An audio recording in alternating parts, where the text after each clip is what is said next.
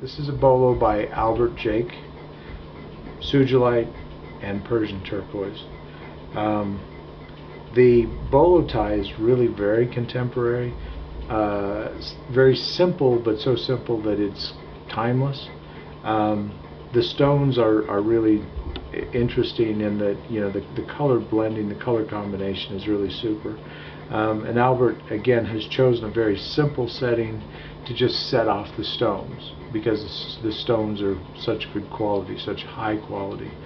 Um, the Persian stone is actually not what we think of in terms of classic Persian, which comes from Iran, which we haven't really seen since the Cultural Revolution and the fall of the Shah. But these actually come from right on the border of Iran and Armenia, um, and they are referred to as, as Persian. So a little bit different from what we typically see called Persian turquoise. Sugilite, great stuff. And the bolo string, overall, this is a, a really terrific piece um, that you could wear with lots of stuff.